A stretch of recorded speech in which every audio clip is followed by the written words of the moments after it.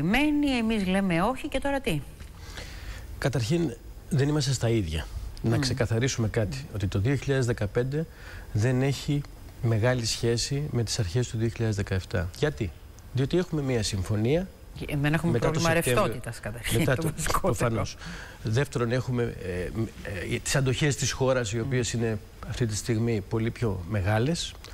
Έχουμε μια πρώτη αξιολόγηση που έχει κλείσει και θέλω να σας θυμίσω ότι η συμφωνία του καλοκαιριού του 2015 στα πλαίσια ενός επώδυνου συμβιβασμού, εμείς δεν το κρύψαμε αυτό, με βάση τους συσχετισμούς που επικρατούσαν και εν πολλής επικρατούν και τώρα, παρά τις διαφοροποιήσεις, είχε ένα πλαίσιο. Δεν είναι ένα άγραφο χαρτί. Με βάση αυτό το πλαίσιο υπάρχουν στόχοι, υπάρχουν συμφωνημένα μέτρα τα οποία θα έπρεπε να ληφθούν. Είναι κάτι που δεν έχει κάνει η ελληνική κυβέρνηση; Όχι. Και μάλιστα, όπως είπατε κι εσείς πριν από λίγο στο ερώτημά σας, οι εκτιμήσεις, οι διαπιστώσεις για τη μέχρι τώρα πορεία είναι ότι τα έχουμε καταφέρει. Άρα δεν και μπορεί... πολύ καλά μας είπε ο Α, κ. ε, άρα, Ντάιζελμπλουμ. ακριβώς. Αλλά, Άρα δεν αλλά, μπορεί, δεν είπατε μπορεί το να αλλά. αντιμετωπίζεται η συμφωνία σαν ένα ακορντεόν το οποίο να ανοιγοκλίνει ή ένα καλάθι στο οποίο να πετάει ο καθένας για λόγους πολιτικής σκοπιμότητας αιτήματα και να ανοίγει ζητήματα τα οποία δεν ήταν μέσα στο πλαίσιο Κύριε αυτής της Υπουργέ, συμφωνίας. νομίζω ότι δεν θα υπάρξει Άρα. ούτε ένας Έλληνας πολίτης που θα διαφωνήσει με αυτό που λέτε ως προς αυτό Έχει το σημασία σκέλος. όμως να ξέρουμε ότι έχουμε το Αλλά δίκαιο το- των επιχειρημάτων Ναι. ε, με το μέρος μας. Έχουμε το δίκαιο. Άρα λοιπόν, οι ενδογενείς αντιφάσεις των κυρίαρχων ευρωπαϊκών δυνάμεων θα πρέπει να τις αντιμετωπίσουν οι ίδιοι και να μην τις αντιμετωπίσουν εις βάρος της Ελλάδος. Το αν λοιπόν ο κύριος Σόιμπλε θέλει να εξηγήσει στην, Ευρω... ε, στην γερμανική κοινή γνώμη γιατί το Διεθνές Νομισματικό Ταμείο για δικούς του λόγους ενδεχομένως την Δευτέρα 6 Φεβρουαρίου αποχωρήσει από το πρόγραμμα δεν μπορεί να είναι αιτία να ζητάει περισσότερα μέτρα σε μια Ζητάει ελληνική, όμως και το σε Διεθνές μια- Νομισματικό Ταμείο από την λέει ότι ελληνική εμένα αυτή χώρα, ήταν η θέση τη μου από στιγμή την που ο αρχή. λαός αυτός εδώ πέρα έχει υποφέρει αρκετά. Είναι σαφές τα επιχειρήματα που έχετε είναι σαφή. Ε, νομίζω ότι συμφωνούν όλοι οι Έλληνες με αυτό. Δεν Ε, συμφωνούν παρά όλοι το οι Έλληνες. γεγονός ότι Δεν η συμφωνούν όλοι οι αντιπολίτευση- Έλληνες. Όχι, όχι, όχι. Μα, μα- με Μισό, αυτό- μισό, ε, όχι, έχει μια σημασία. Διότι Μα, χθε. Α, συγγνώμη, βλέπουμε τώρα τον α, Πρωθυπουργό να προσέρχεται στη Μάλτα. Είναι η σύνοδος α, των χωρών Νότου. μελών του Νότου. Α, είχε πριν από λίγο συνάντηση με τον α, Κύπριο Πρόεδρο, τον κύριο Αναστασιάδη. Α, είχε με τον κύριο Ραχώη, εδώ είναι στην προσέλευση, τον βλέπουμε στις φωτογραφίες. Θα επικοινωνήσουμε με τον Γιώργο Παντελάκη, τον αποσταλμένο μας, τον πολιτικό μας συντάκτη, για να μας πει α, τι διεμήφθη σε αυτές τις α, συναντήσεις. Λοιπόν, για να συνεχίσουμε. Ναι. Θα βλέπουμε σας, πλάνα σας έλεγα εντωμεταξύ λοιπόν και θα σας διακόπτω. ότι δυστυχώς σε αυτή την ε, ανάγνωση, σε αυτή των, των πραγμάτων, σε αυτό το συμπέρασμα το οποίο είπατε εσείς πριν από λίγο ότι συμφωνούν όλοι, δεν συμφωνούν όλοι. Ναι, ε, αμέσως μετά θα έλεγα για με την πρώτο και αντιπολί- ναι. κύριο Η αντιπολίτευση τον κύριο σας λέει, Μητσοτάκη. ε, σας λέει, η αντιπολίτευση σας λέει ότι ακολουθήσατε μία λάθος πολιτική στρατηγική. Γι' αυτό φτάσατε Να, εδώ. να πω Αυτό εγώ σας πώς το λέει. βλέπω το θέμα. Να, εσείς βέβαια θα μας Χθες, πείτε. χθες, Προφανώς. χθες ο κύριος Μητσοτάκης με την παρέμβασή του ουσιαστικά ψήφισε υπέρ των 4,5 δισεκατομμυρίων επιπλέον μέτρα. Διότι όταν ζητάς από την ελληνική κυβέρνηση να κλείσει άρον-άρον αυτή την διαπραγμάτευση, τη στιγμή που ξέρεις ποιες προϋποθέσεις θέτουν όχι όλοι, αλλά οι πιο ακραίες φωνές, ουσιαστικά τι κάνεις, τη τραβάς το χαλί κατά από τα πόδια, υπονομεύεις αυτή τη χώρα, αυτή την διαπραγματευτική προσπάθεια και ζητάς επιπλέον 4,5 δισεκατομμύρια μέτρα. Ζητάς να αποδεχτούμε αφορολόγητο στις 5.000, στα 3.800, στα 4.600, όλα αυτά είναι νούμερα που έχουν ακουστεί. Τι ζητάς λοιπόν; Να μας το πει λοιπόν ο κ. Μετσοτάκης. Διότι πέρα από την επίκληση των εκλογών, η οποία υπήρξε δύο-τρει μήνες μετά τις εκλογές, και κυρίως γίνεται για λόγους που αφορούν τη συσπήρωση του δικού του χώρου, της δικιάς του πολιτικής βάσης, αγνοώντας τις πραγματικές ανάγκες της οικονομίας, των ανθρώπων αυτής εδώ πέρα της χώρας, των ταλαιπωρημένων ανθρώπων. Που ουσιαστικά αυτή η φασαρία γύρω από τις εκλογές θέλει ακριβώς να συσκοτήσει τις πραγματικές προγραμματικές θέσεις της Νέας Δημοκρατίας, που κατ' ουσίαν είναι η πρόταση για να πάμε σε ένα τέταρτο μνημόνιο.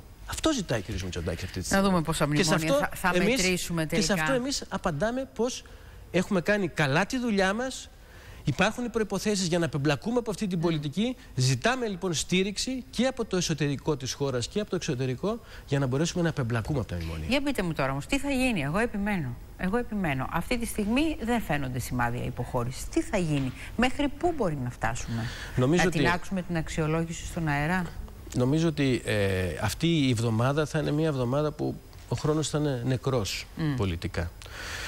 Διότι όλες οι πλευρές, και κυρίως αναφέρομαι στις πλευρές των δανειστών, την πλευρά των δανειστών, ε, περιμένουν το τι θα κάνει το Διεθνές Νομισματικό Ταμείο.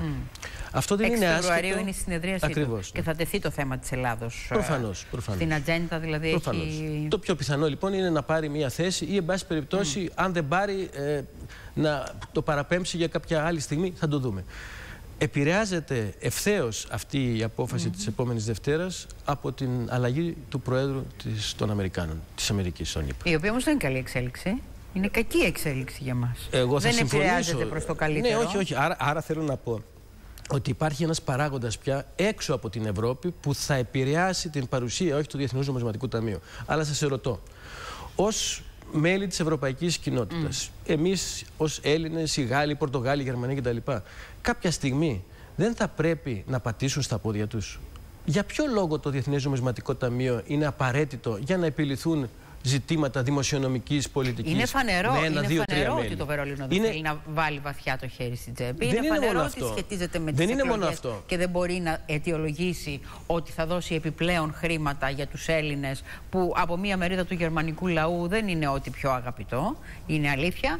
Αυτή όμως είναι μία πραγματικότητα. Προσέξτε, κύριε ό,τι, Κουρλέτη, και ό,τι σε αυτήν χρήματα έχουν δώσει πορευόμαστε. αυτοί οι λαοί και αυτές οι χώρες βασικά και οι κυβερνήσεις ε, Τα παίρνουν πίσω. Όχι τα με παίρνουν το- πίσω, έχουν κερδίσει. Ναι, αλλά στην, α, Εμείς δεν έχουμε στην κοινή κερδίσει. του γνώμη αυτό, αυτό δεν έχει επικοινωνιακά επαρκώς εξηγηθεί. Πρέπει να σας πω και υπάρχει μια άλλη αντίληψη που έχει να κάνει με πολλά πράγματα στη Γερμανία. Α, δεν είναι μια συζήτηση που μπορούμε να, αντί- να ανοίξουμε αυτή τη στιγμή. Εμένα το ερώτημά μου παραμένει. Μέχρι πού είστε διατεθειμένοι να φτάσετε; Γιατί κάποιοι βλέπουν στο βάθος ξανά εκλογές. Εμείς είμαστε διατεθειμένοι να κινηθούμε μέσα στα όρια της συμφωνίας που συμφωνήσαμε από κοινού Εδώ είστε με τους σαφείς. Ευρωπαίους Το εταίρους ερώτημα μας. είναι αν δεν Ε, ας μην καταστραφολογούμε. Ας μην καταστρα... Το λέω αυτό γιατί ε, δεν κάνει καλό σε κανέναν. Ναι. Και κυρίως δεν κάνει καλό ε, σε όσους ε, ζουν έτσι, κινούνται μέσα Εγώ σ- σέβομαι ότι δεν έτσι, πρέπει στο- να υποθεί μέσα στη- στα στη- στη μίντια. χώρα. Το σέβομαι αυτό για λόγους πραγματικά εθνικούς συμφέροντος. Νομίζω, Από την επειδή άλλη, όμως, μιλάμε- αποκλείεται να μην έχετε στο μυαλό σας μέχρι πού μπορείτε να φτάσετε και τι μπορείτε να κάνετε.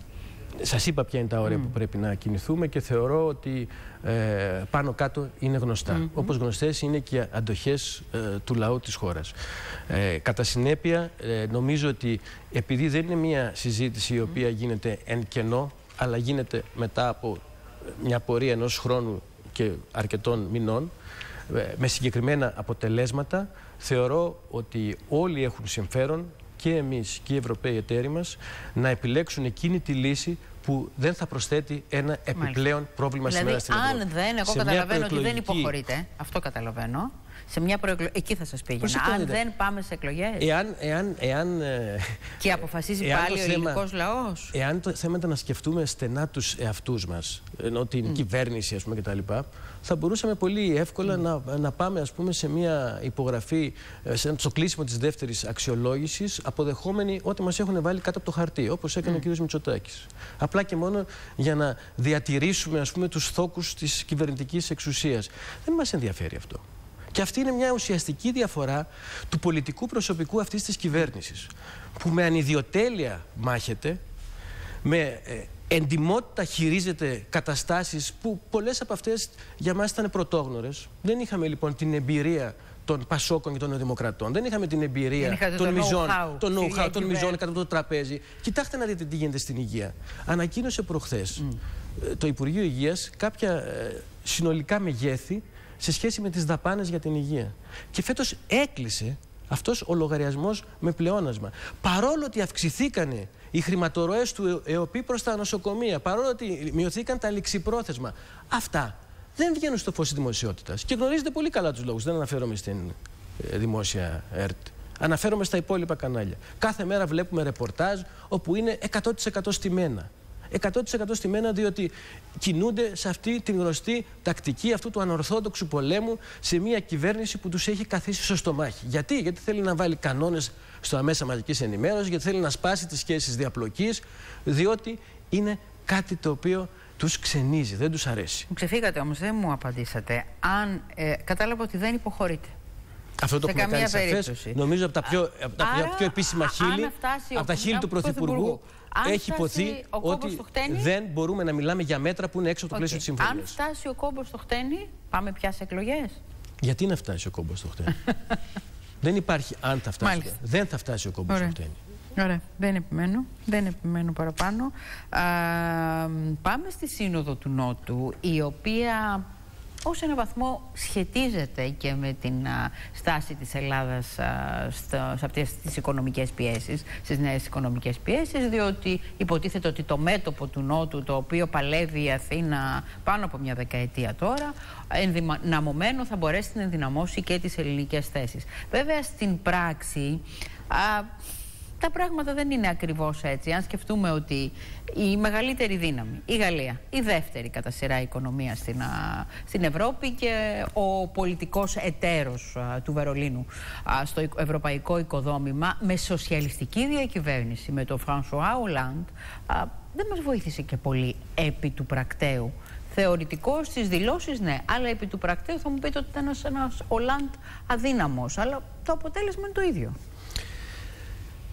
Σε σχέση με το αραγές ε, μέτωπο που υπήρχε με προκατάληψη απέναντι στη χώρα μας το 2015 και στις αρχές του 2016, νομίζω ότι σήμερα τα πράγματα είναι πολύ πιο καλά για μας. Δεν είναι αρκούντος καλά. Αλλά μην ξεχνάτε ότι το γεγονός ότι 4-5 χώρες ε, φέτος, τη χρονιά του 2017, έχουν εκλογές, είναι ένας παράγοντας ο οποίος δεν βοηθάει στο να έχουμε γρήγορες απαντήσεις στα προβλήματα της ε, Ευρωζώνης ναι. και της Ευρωπαϊκής λοιπόν, ε, Ένωσης. Πριν συνεχίσουμε για το μέτωπο του Έχει πολύ λοιπόν δούμε... ενδιαφέρον να δούμε πώς ναι. θα πάει και η Γερμανία και η κυρία Μέρκελ και ο κύριος Σούλτς θα κάνει, ο οποίος mm. εμφανίζεται mm. ενδυναμωμένος mm. ε, στα Γκάλοπ. Τι θα γίνει στην Γαλλία. Το βέβαια είναι το εξής. Στη Γαλλία δεν προδιαγράφονται και οι καλύτερες μα, ε, μα, μα, το λέω για, όχι για να πω ότι προδιαγράφονται καλές εξελίξεις, αλλά για να πω το εξής, ότι αν συνεχίσουμε στο δρόμο, στην οδό του ακραίου νεοφιλελευθερισμού και της ακραίας λιτότητας, τότε αυτές οι αρνητικές εξελίξεις στις οποίες αναφέρεστε σε σχέση με την Γαλλία, δηλαδή η άνοδος της mm. ακροδεξιάς, θα είναι κάτι το οποίο θα ενδυναμωθεί και αυτό θα μεταφραστεί σε τάσεις αποδόμησης και φυγόκεντρες τάσεις της ίδιας Ευρωπαϊκής Ένωσης. Για να δούμε το βίντεο, να δούμε τις εξελίξεις και αμέσως μετά θα συνεχίσουμε διότι αυτό το θέμα είναι πολύ σημαντικό.